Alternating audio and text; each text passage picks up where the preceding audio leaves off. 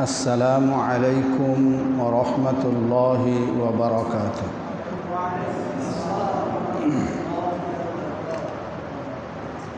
الحمد لله وكفى وسلام على عباده الذين اصطفى. أما بعد قال الله سبحانه وتعالى في كلامه المجيد وفي فرقانه الحميد.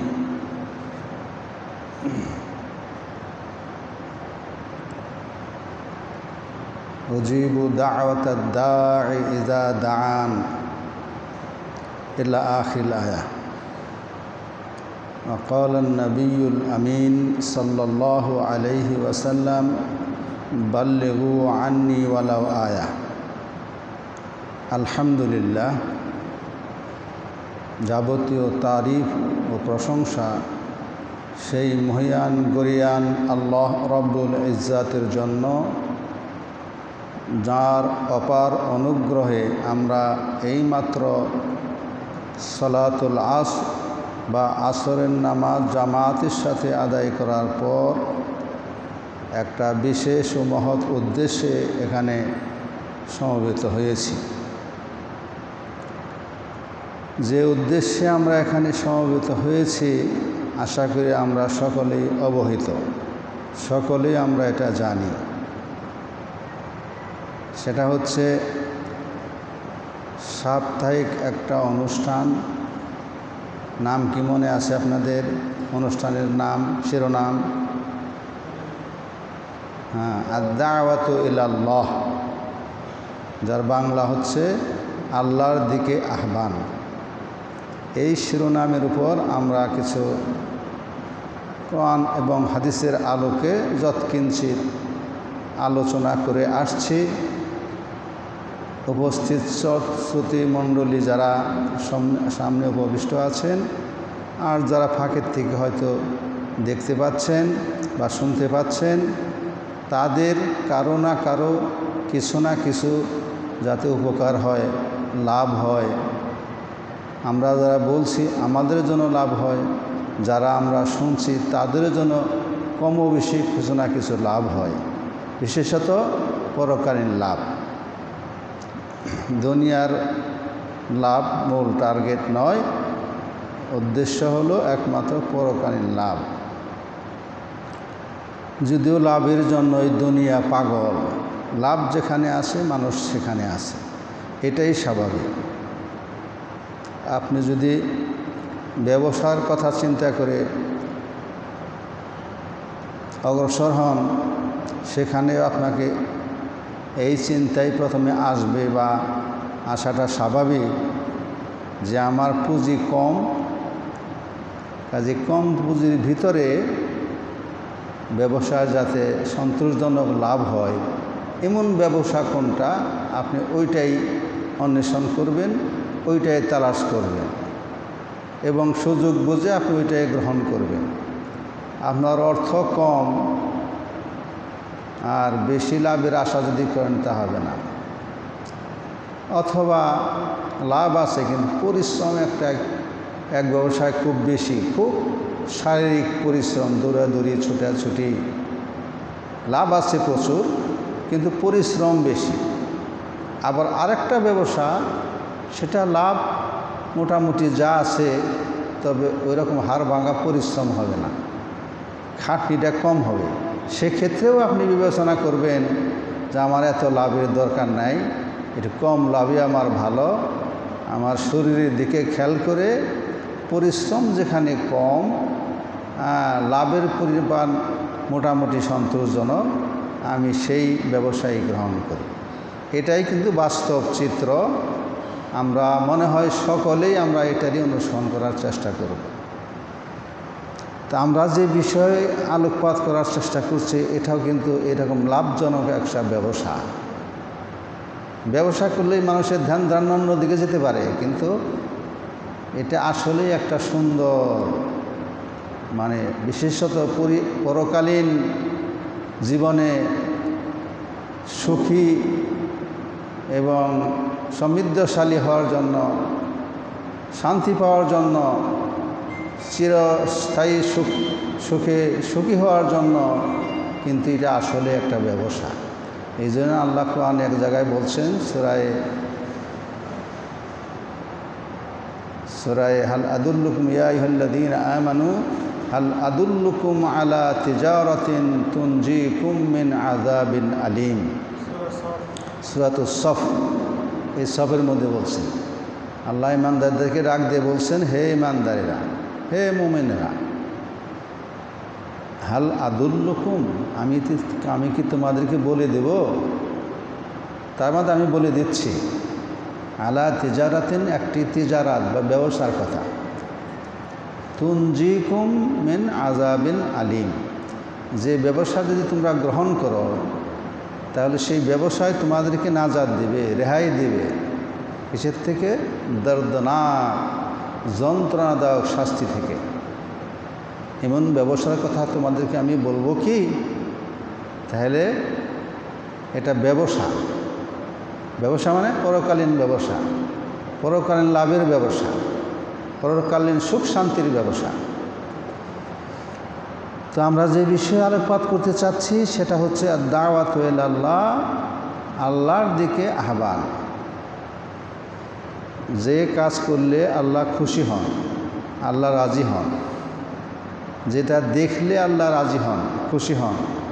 যেটা শুনলে আল্লাহ রাজি হন, খুশি হন। এমন এমন ভালো ভালো ন্যায় কাজ যে দিকে মানুষে, মানুষকে আহ্বান করা, ডাকা। আরেকটা হলো এর বিপরীত। বিপরীত না আবার বিপরীত? মন্দ কাজ। যে কাজ করলে আল্লাহ আপনার উপর নারাজ হবেন, অসন্তুষ্ট হবেন, আপনার উপর বেজার হবেন এবং পরিণামে আপনাকে জাহান নামে যেতে হবে। এমন কাজ থেকে মানুষকে বারণ করা, নিষেধ করা, এটাও আহ্বান, এটাও দাওয়া ভালোর দিকে ডাকা যেন মানুষ যেন ভালো কাজটা করে, ভালো পথে যেন চলে, ভালোটা যেন দেখে, ভালোটা যেন শুনে, ভালোটা যেন বুঝে, এইভাবে মানুষকে উদাত্ত আহ্বান জানানো। আর একটা হলো, মন্দ, খারাপ, যার পরিণাম অতীব ভয়াবহ, কিন্তু সে বুঝতে পারছে না, বিশ্বাস করছে না। বিশ্বাস করেও বিশ্বাসের মধ্যে ঘুণে ধরা আছে। বুঝতে পারছে না। তাকে ওই মন্দ কাজ থেকে, তারই স্বার্থে, তারই মঙ্গলের জন্য ওই মন্দ কাজ থেকে, ওই মন্দ দেখা থেকে, মন্দ শোনা থেকে, মন্দ বলা থেকে, মন্দ পরিবেশ থেকে তাকে বুঝে ফেরানো। এটাই হলো দাওয়াত এই দাওয়াতটা এমন দাওয়াত যে দাওয়াতের পুঁজি কম। লাভ বেশি। আমরা পূর্বেই বলেছি যে পুঁজি একবারেই কম।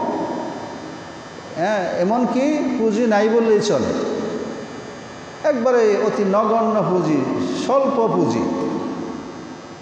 যেটা আল্লাহ বলছেন, বাল্লিগু আন্নিওয়ালাও আয়া। যে একটা আয়াতও যদি তুমি জানো, একটা আয়াত তুমি সহি শুদ্ধ করে পড়তে জানো তার অর্থ জানো। তাইলে ওই আয়াত অথবা একটা হাদিস তুমি জানো। তার মর্ম বুঝ। তাহলে ওই আয়াত অথবা ওই হাদিস সম্পর্কে জানে যে জানে না, যে বুঝে না, তাকে ওইটা সম্পর্কে তুমি জানিয়ে দাও। বলে দাও যেন সে ওই কাজটা স্বতঃস্ফূর্তভাবে সে সম্পন্ন করে। তাহলে সে ওই কাজের যে ফলাফল, যে লাভালাভ, এটা সে প্রাপ্ত হবে।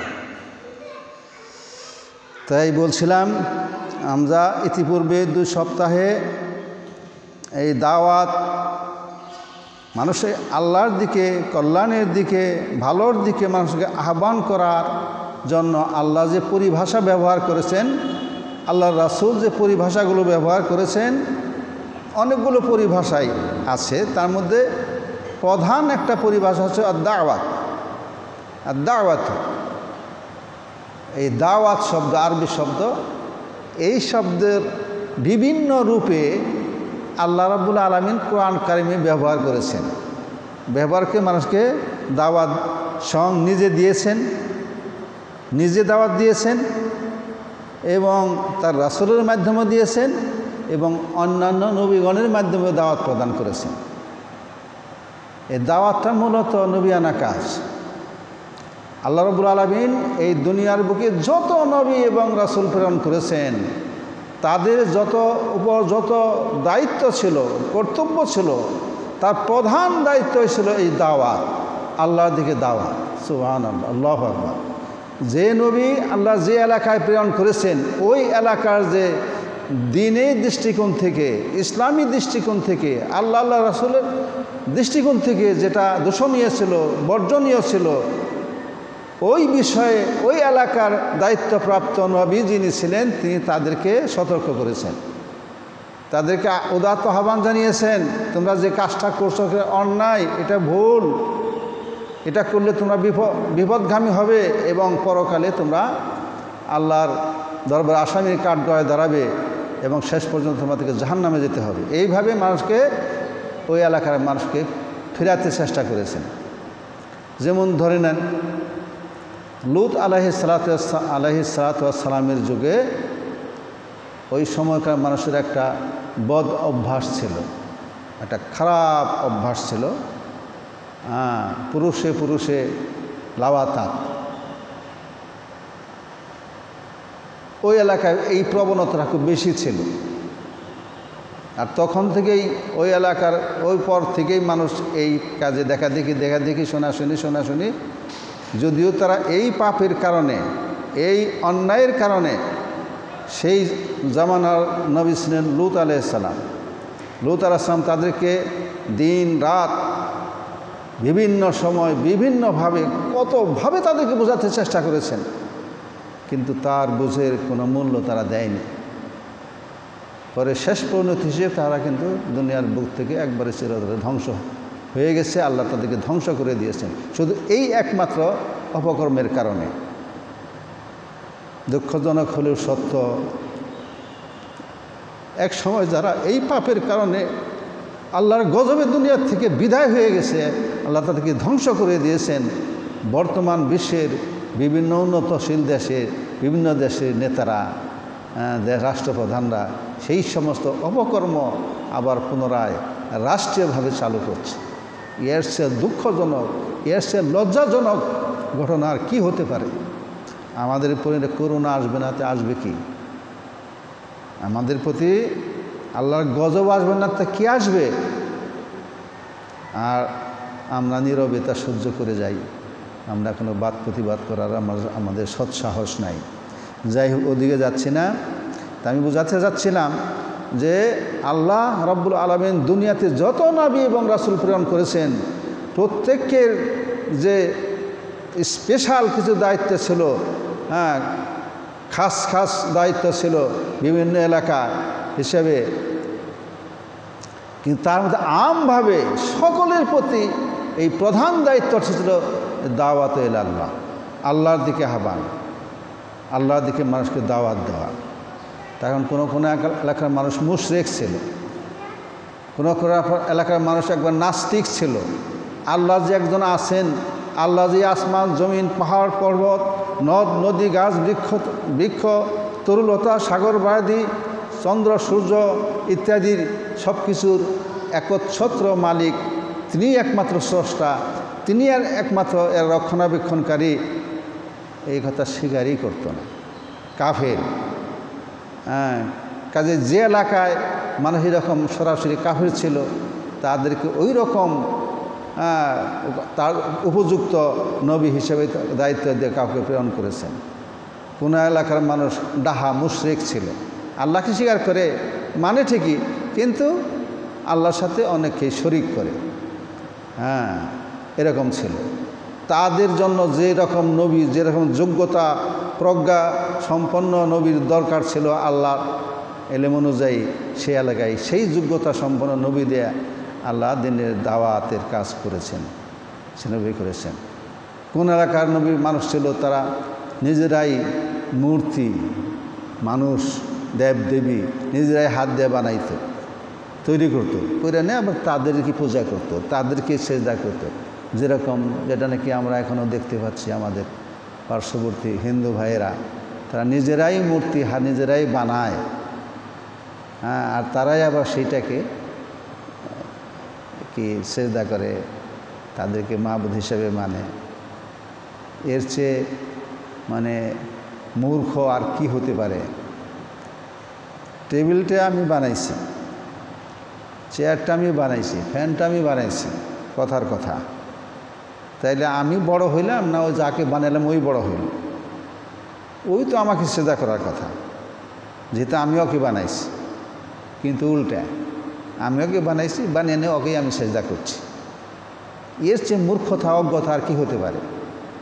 এই রকম যুগে যুগে, এক এক যুগে এক এক ধরনের মানুষের বৈশিষ্ট্য ছিল।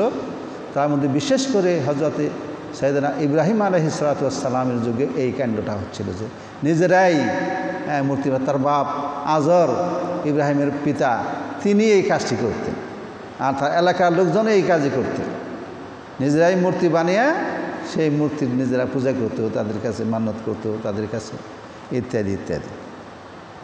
তা আমি বলতে চাচ্ছি যে এই কাজটা, দাওয়াতি কাজ, গুরুত্বপূর্ণ কাজ তো অনেক আছে। বহুত গুরুত্বপূর্ণ কাজ আছে। গুরুত্বপূর্ণ কাজের শেষ নাই। বহুত কিন্তু দাওয়াতি কাজের মতো গুরুত্বপূর্ণ কাজ বলতে গেলে নাই। কেন? যেমন আপনি নামাজ পড়েন। ভালো কথা। আল্লাহ একটা হুকুম পালন করেন, তাতে আপনি পর্যাপ্ত সবের অধিকারী হবেন, আল্লাহর আজাব ক্রোধ থেকে বেঁচে যাবেন। ঠিকই আছে, সুন্দর কথা। কিন্তু আপনার দ্বারা আর কেউ উপকৃত হইল না।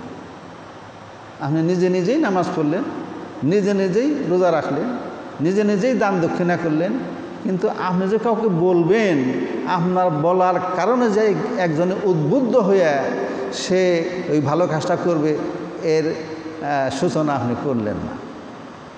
তাইলে এর দ্বারা শুধু আপনি নিজে নিজে কিছুটা উপকৃত হলেন বটে, কিন্তু আপনার দ্বারাতে আরও অগণিত মানুষ উপকৃত হতে পারত। যে কাজটা করলে সেটাই হলো এই দাওয়াতের কাজ। এই দাওয়াতের কাজ যদি আপনি করেন, তাহলে আপনার পুঁজি কম।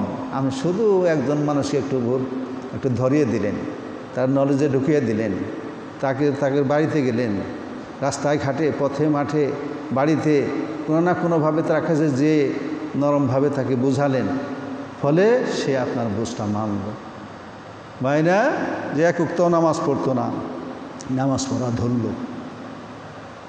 তাহলে এই যে আপনি কাজটা করলেন আমি তো নামাজ পড়িনি, কিন্তু আরেকজনকে আবার বললেন, দাওয়াত দিলেন, তাকে বোঝালেন। এই কাজটা করার বিনিময়ে হ্যাঁ আপনার কাছ থেকে দীক্ষা পেয়ে ওই ব্যক্তি নামাজ, জিন্দগি ভর যত নামাজ পড়বে তার জীবনে। নামাজ পড়ে যে সব অবশ্যই পাবে। আল্লাহর কাছ থেকে অবশ্যই সে সব পাবে, নেকি পাবে। কিন্তু ওই নেকি যে পাবে তার একটা বর্ধিত অংশ আল্লাহ আপনার আমার নামায় দান করবেন সোহান আল্লাহ আল্লাহ আকবর। এটা আমার কথা না। ওইটার দলিলে আমি হাদিস থেকে পেশ করব। হ্যাঁ যে এই যে আমি বললাম আমরা শুনলেন হয়তো বিশ্বাস করলেন মহান সাহেব কইছে হ্যাঁ তাহলে ঠিকই বোধ হয় কিন্তু এটা দলিল না হইলে প্রমাণ না থাকলে কোন এবং হাদিস থাকে। হাদিস থেকে কোনো প্রমাণ না থাকলে তাইলে আমার এই কথার আদা কানা করি মূল্য নাই। তা আমি আর দলিল, দলিলটাও পেশ করব, ইনশাআল্লাহ হাদিস এরকম বহুত কাজ। আপনি নামাজ পড়েন, আপনি নামাজ পড়ার উপযুক্ত ব্যক্তি আপনার জাকাত দেওয়ার উপযুক্ত ব্যক্তি। অর্থের জাকাত দিতে হবে, শস্যের উসর দিতে হবে। কিন্তু আপনি নামাজ পড়েন জাকাত দেন না, উসর দেন না। কথার কথা। তাইলে ইমাম সাহেব বা আর কেউ আপনার সাথে যোগাযোগ রক্ষা করে আপনাকে বুঝে একদিন, দুই দিন, তিন দিন, চার দিন, এক সপ্তাহ, দুই সপ্তাহ, এক মাস বা কিছুদিন সময় আপনার পিছিয়ে ব্যয় করে করে করে করে সেরপরে আপনি সমর্থ হলেন আল্লাহর মেহরবানিতে। হ্যাঁ তাকে বুঝাতে পারলেন বা আপনি বুঝলেন যে হ্যাঁ আসলে তো এটা ভুল হচ্ছে দিতে তারপর থেকে না কী করে? আপনার জাকাত দেওয়া শুরু করলেন। যে কাজটা আগেও করতেন না, ইমাম সাহেবের কথায়